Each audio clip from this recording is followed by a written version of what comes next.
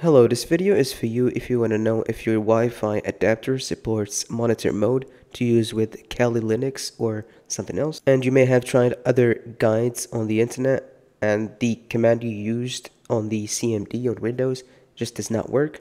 I found this other command that I'm going to be showing you to work and show us if our adapter has monitor mode or not. So just go ahead and open the start menu, then search up CMD, run it as admin, and just type the following command. Netsh, press enter, then type the following as well. WLAN show wireless capabilities. The same way it's typed here. I will leave it in the video description for you to copy and paste. Then we scroll up until we find this right here network monitor mode and it's going to show us if it's supported or not. Uh, even though if, if it shows it's not supported, this does not mean that the card does not have the monitor mode.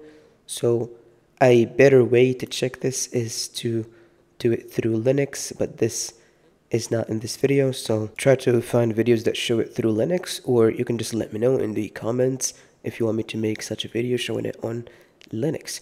So I hope this helps you and Peace out.